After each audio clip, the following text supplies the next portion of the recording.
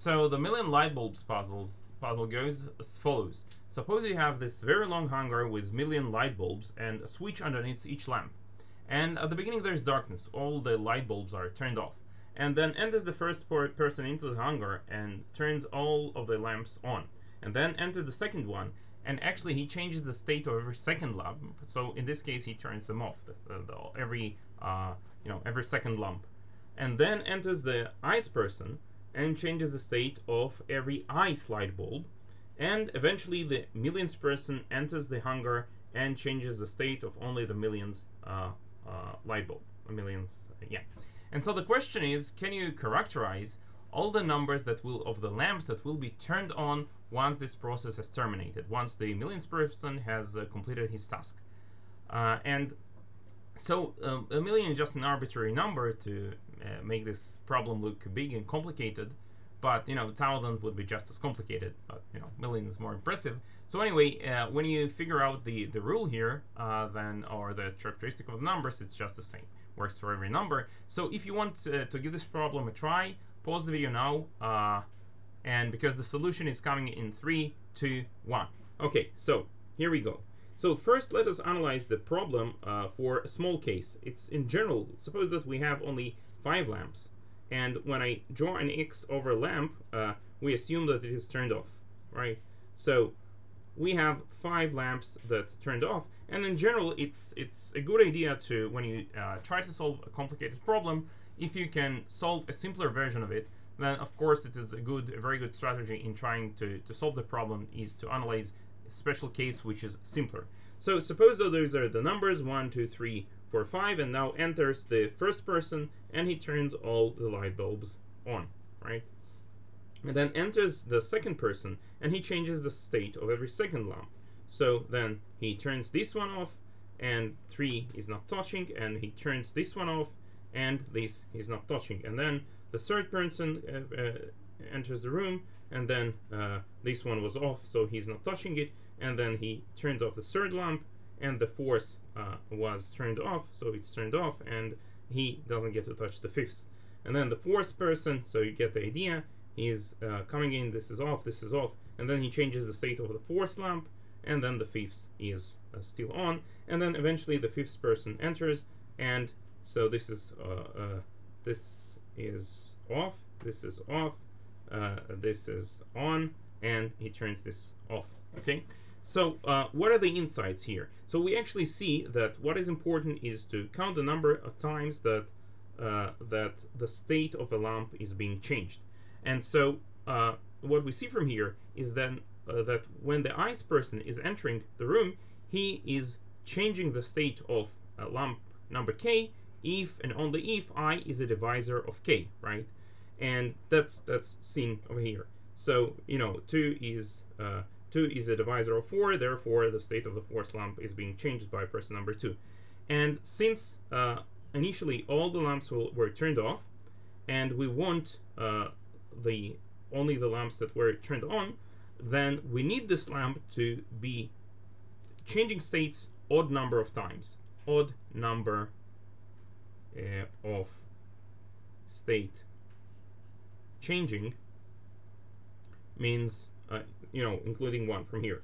So because we start with this position and then uh, person number one two etc enter. So we need odd number of changing states to happen.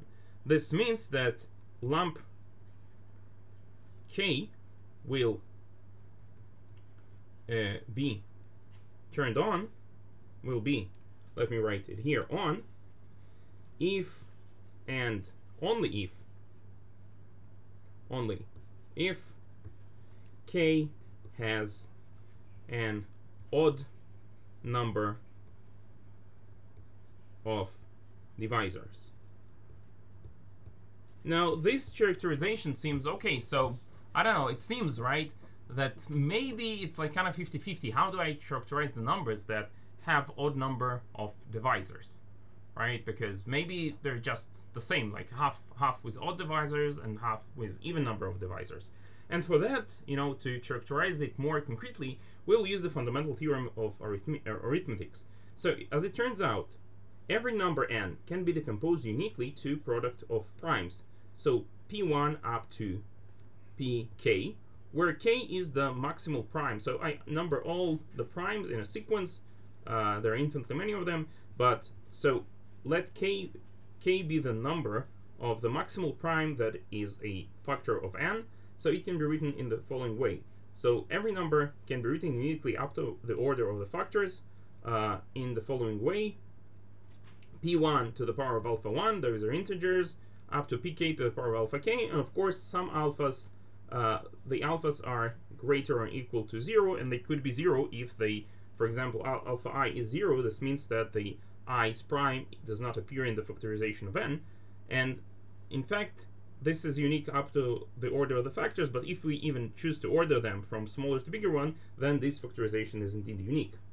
And so what we see uh, here from here is that a number is a factor of n if and only if it is all of the form p to the power of beta i. Uh, so let's write it this way: p1 to the power of beta 1 times uh, pk to the power of beta k.